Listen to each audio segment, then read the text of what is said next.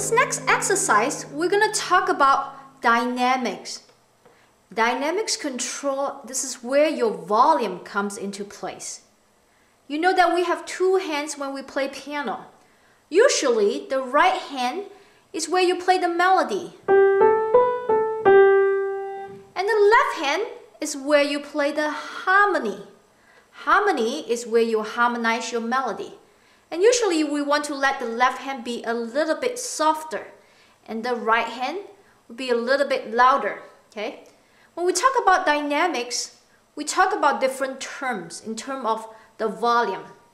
In music, if you look at any kind of a music score, you see that sometimes there's a FF or sometimes there's a PP that stand for loud and soft. Those are Italian terms.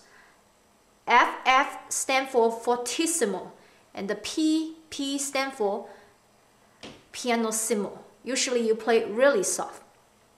In this exercise, we're going to have your left hand play two notes.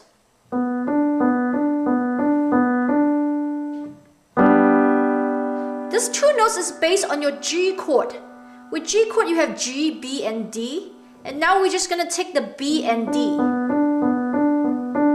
Try to play this in eighth note. Make sure you do it evenly, so you're not sometimes fast, sometimes slow. With beginners, sometimes we encounter the problem where the finger is not very uh, good at controlling the strength. Sometimes certain fingers want to play loud and certain fingers want to play soft. In this case, we want to make sure they are evenly. Loud. Play soft. Very good, okay? Now with your right hand, you, you, you want to use some kind of a G scale. In this case, we're to use a G, A, B, C, and D. Any of those notes, we're gonna make up a melody while your left hand is gonna play just as two notes. Make sure the right hand is slightly louder than the left hand. Since we are the melody hands with the right hand, the left hand needs to harmonize it with a softer tone.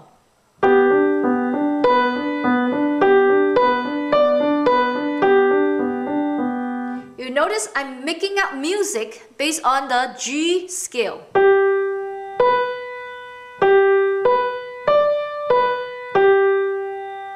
Okay, now let's bring up the volume with the left hand. Let's see if you can make this left hand louder than the right hand.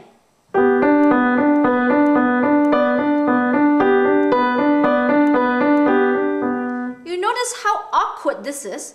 when your harmonizing note is louder than your melody note. Now I'm showing you a contrast, a dynamics contrast, which is the volume contrast. Also, you can consider to move your right hand to the left hand part.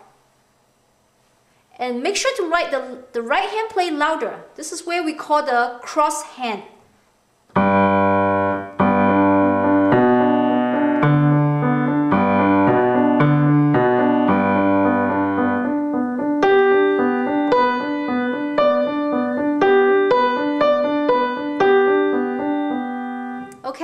So that is an exercise for you to work on. Once you're good with the 3 and 5th with the G chord, you can also consider to play the root and the, the root and the 5th. You're going to play the G and D.